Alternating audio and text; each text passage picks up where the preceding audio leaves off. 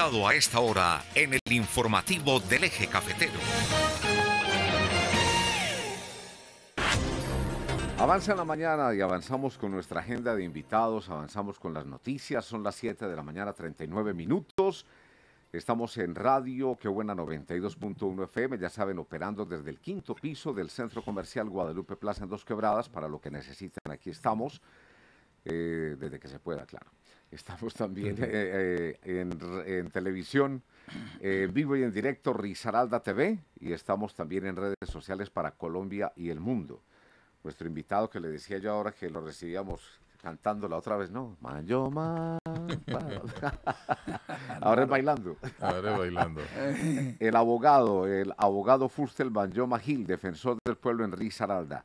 Doctor Fustel Mayoma, bienvenido, muy buenos días. Álvaro, muy buenos días a usted, a Fermín, a todos los oyentes de la emisora Qué Buena, a los que nos escuchan por radio, por televisión, que nos ven y también por redes un buen día para todos. ¿Cómo ha eh, sido esa experiencia? Déjeme antes de, antes de entrar con, con esa parte para que nos cuente eh, por qué no vino el doctor Carlos mm, eh, Camargo Asís, defensor del pueblo, que tenía una agenda para Dos Quebradas, Risaralda, y hoy precisamente tenía que cumplir agenda también en Manizales, y había unos puntos muy interesantes, muy importantes que iban a tocar. A ver, es complicada la agenda del defensor nacional del doctor Carlos Camargo toda vez que tiene que cubrir todo el territorio nacional. Y, un pueblo tan eh, y, con esto tan convulsionado, eh, él debe estar pues en todos los frentes. Si se le presentó en último momento unas reuniones de justicia restaurativa eh, en la ciudad de Bogotá, ese fue el motivo por el cual no pudo asistir, pero está pendiente. ya se programó nuevamente, estamos no, hay nueva fecha todavía. De la nueva fecha. Pero no la han dado eh, todavía. No la han dado, pero les comentaremos para que estemos al tanto de la llegada del defensor nacional del doctor Carlos Camargo. Bueno, esa era una de las noticias que estábamos esperando en el día de ayer también, ¿no? Claro que sí, Álvaro. Exactamente. Cuénteme, Fermín. ¿Qué se ha encontrado en la Defensoría del Pueblo eh, eh, a su llegada cuál ha sido la experiencia en esos meses al frente de este Ministerio Público tan importante para eh, los derechos humanos en el departamento de Risaralda. Fermín, una institución de derechos humanos querida por el pueblo, robustecida, una institución que al frente tiene un hombre como el doctor Carlos Camargo Asís, defensor nacional del pueblo, que ha dinamizado eh, la divulgación que ha dinamizado la protección de los derechos humanos de los colombianos, de las colombianas en el territorio nacional y en el extranjero.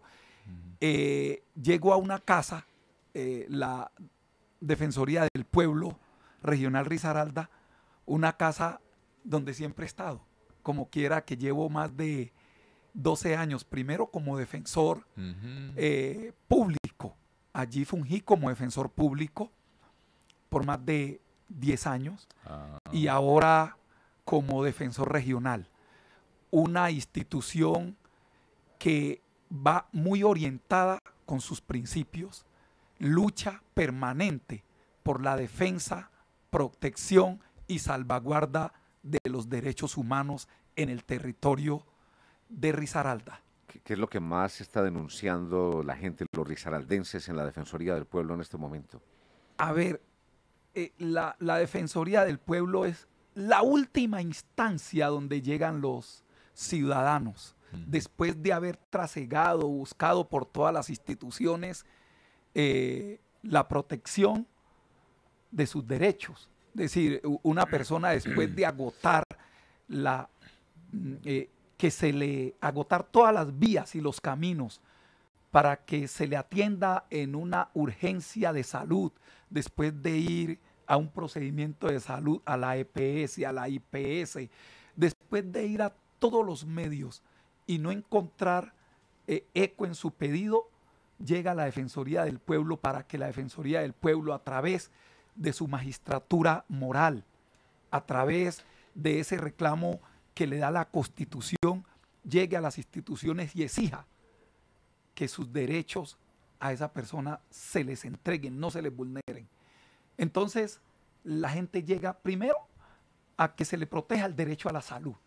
Es mucha y muy concurrida en la Defensoría del Pueblo en ese sentido. Y con Mucha esa gente, cantidad de casos que menciona usted y que sabemos que hay ante esa situación, ¿consiguen resultados? Claro que sí.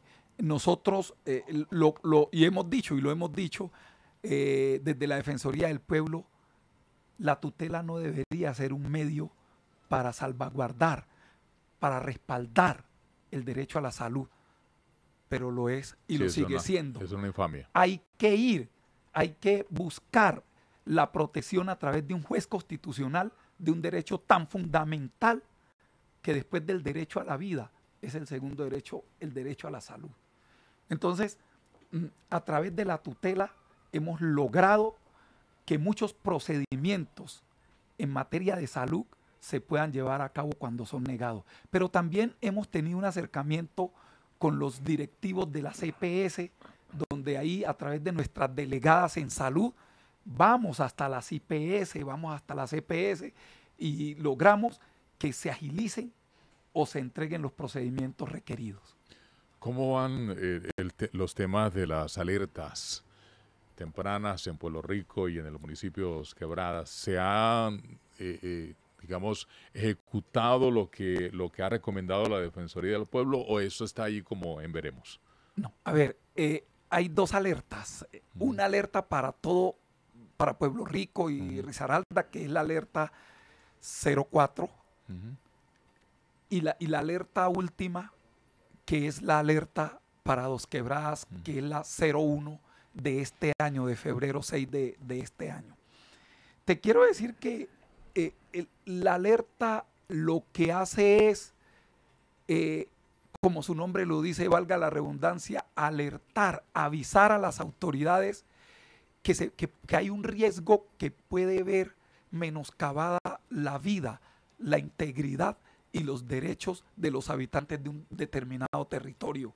Y fue así como a través de unos elementos de prueba, de unas indagaciones, de unos de unas personas que obviamente la defensoría no revela quiénes son sus fuentes, eh, se pudo adelantar una alerta en dos quebradas, que es la 01, y do- donde el señor defensor nacional del pueblo la emite desde Bogotá y le dice a las autoridades, ojo, estos son los riesgos, aquí está pasando esto, tenemos que prevenir o parar las actuaciones que están permitiendo que los derechos humanos de ese territorio se estén menoscabando o se estén deteriorando. Y fue así como se editó esa alerta temprana para dos quebradas y hoy claro que vemos avances, porque las instituciones han puesto su mirada, que es lo que se quiere por parte de la Defensoría, que las autoridades del orden nacional intervengan en el territorio donde se está eh, eh, generando ese riesgo para la vida de los ciudadanos. Y aquí se ha visto ya la mano de las instituciones. Claro, todavía no han parado los homicidios. Y los homicidios de cualquier persona y de cualquier índole duele, cualquier persona, persona. Ah, que el, el- el muerto de ayer, o el muerto de hace ocho días, o el muerto de hace 15 días, eh, pertenece a la banda tal, o es del grupo tal. Esa es una vida y es un ser humano. Claro. Y a la Defensoría del Pueblo le duele. Y hay que alertar para que eso no se dé. Y en eso estamos y las autoridades han venido haciendo el trabajo requerido para que eso no siga ocurriendo. Hay una pregunta por acá de Oscar Cruz Ramírez que lo manda a saludar. Dice "Saludos- saludos para Fuster y dice, ¿qué política está implementando la Defensoría para los asentamientos subnormales en Pereira que son 19 mil? eh, un saludo al doctor Oscar Cruz, decirle al doctor Oscar Cruz que nosotros, la Defensoría del Pueblo, no implementa políticas. La Defensoría del Pueblo acompaña derechos. En ese orden de idea, nosotros lo que tenemos es que, reitero, prevenir, por ejemplo, eh, aquí- a quién le toca implementar las políticas para que los, los asentamientos eh, eh, eh, subnormales, como se dicen, no se den. A los entes territoriales, a los alcaldes, a los gobernadores, a, ellos, pero la Defensoría del Pueblo actúa es cuando se van a vulnerar derechos de aquellas personas que de una u otra manera obtuvieron ese asentamiento o llegaron a ese asentamiento y de pronto les van a hacer un desalojo. La Defensoría del Pueblo tiene que verificar que ese desalojo, si hay necesidad y si es legal que se vaya a dar, eh, se haga conforme a derecho y que no se vulneren los derechos de las personas que están asentadas en, esa, en esos predios o en esos territorios. Defensor, ¿qué tan vulnerados están los derechos de las comunidades indígenas en el departamento de Risaralda que constantemente están en desplazamiento, en movilizaciones y están en, mingas y protestas? Ellos tienen un derecho legal y constitucional como el resto de las comunidades y como todos los ciudadanos.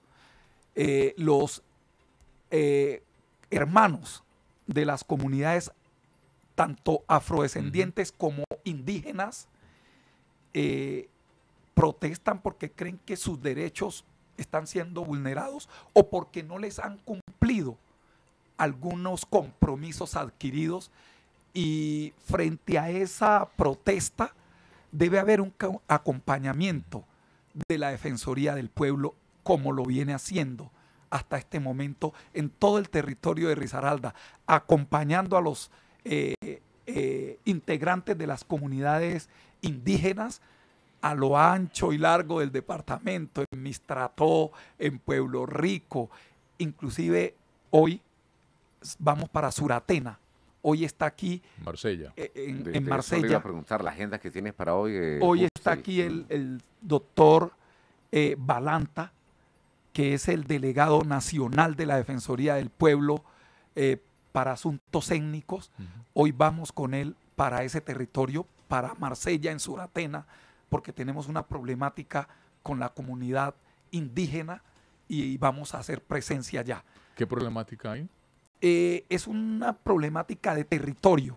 Eh, mm. tiene que ver con sus asentamientos entre ellos. ¿Como límites o qué? Eh, sí, como límites y vamos a, a hablar con ellos eh, de ese tema, vamos a, mirar qué está sucediendo y por supuesto... El, problema es entre ellos mismos. Entre ellos mismos y obviamente entre eh, eh, territorio, entre tierras, que seguramente disputa, de, tierra y vamos a para, para Marsella, para Suratena, a tocar ese tema con nuestro delegado. Doctor Mayoma, antes de tocar el tema de la rendición de cuentas, que será el próximo 18 del mes de mayo, eh, desde las cárceles, la vulneración de los derechos de los internos, eh, digamos en sí, los derechos que tiene, sobre todo en Dos Quebradas, se había denunciado de pronto ante la Defensoría del Pueblo que se estaban cobrando para que los internos que llevan allí de paso puedan dormir, y se estaban cobrando como una cuota, algo así. Claro, Fermín. Eh, nosotros tuvimos la oportunidad de estar aquí en Dos Quebradas hace casi un mes con el delegado de Política Criminal de la Defensoría del Pueblo, eh, el doctor, em, nuestro delegado, eh, que estuvo acá eh, hace muy poco tiempo, conjunto con el delegado para los derechos humanos de la Procuraduría General de la Nación. Hicimos un recorrido por todos los CDT, Centro de Reclusión Transitoria visitando a aquellas personas que hoy están privadas de la libertad, pero que están en estos sitios. Y pudimos constatar de primera mano el estado actual en que se encuentran las personas que están privadas de la libertad aquí, en el comando de la policía de Dos Quebradas, donde efectivamente, como tú lo dices, eh, Fermín, hay un pico y, placa. Sí, sí. O sea, pico y sueño. Pico y sueño. Eh, unos, porque primero por lo estrecho y porque las instalaciones no dan para tener tantas personas. Y esto no es, eh, quiero aquí eh, decirlo, no es culpa de la policía, porque la policía está en una cosa que, que, no le corresponde. Es decir, la policía está cuidando detenidos cuando tiene que estar cuidando las calles para que no, para prevenir eh, comisiones de hechos punibles en contra de la sociedad. Pero muchos tienen que estar ahí al frente de estos centros de reclusión transitoria y aquí en Dos Quebradas, que no es la excepción, hay una motina, hay un, eh, eh, una sobrecarga de personas allí que no permiten que la persona concilie el sueño desde las 9 u 8 de la noche hasta las 6 o 5 de la mañana, sino que se tengan que turnar. Unos desde las 5 o 6 hasta las 12 y el otro de 12 a 5. Es decir, tienen que tener un pico y placa para poder dormir. Y eso lo denunciamos nosotros. Otro es el trato.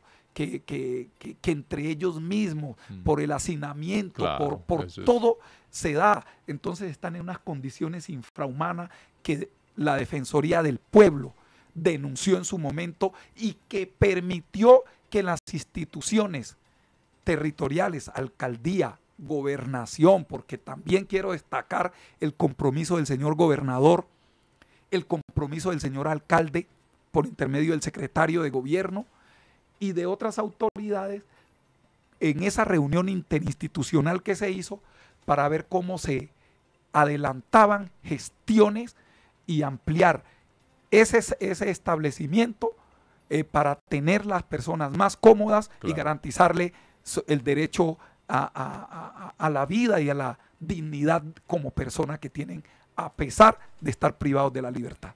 Bueno, ya brevemente, porque el tiempo se nos acaba sobre la rendición de cuentas que decía Fermín.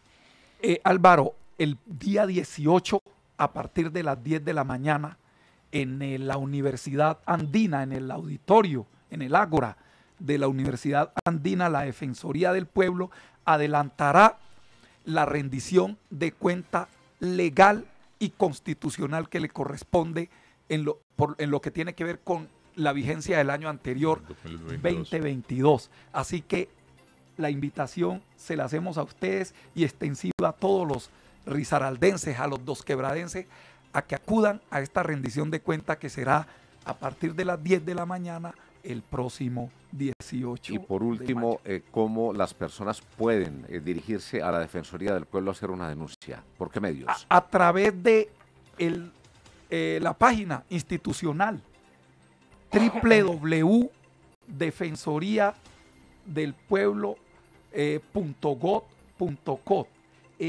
hoy o acercarse a través de la Secretaría, de la ventanilla, de la, en el eh, edificio administrativo El Lago, carrera eh, entre carrera séptima y octava con calle 25, pisos 11 y 12. Ahí tenemos la Defensoría del Pueblo y se ofrecen allí todas eh, la gama de ofertas institucionales que... Hay un, hay un número de teléfono de pronto también.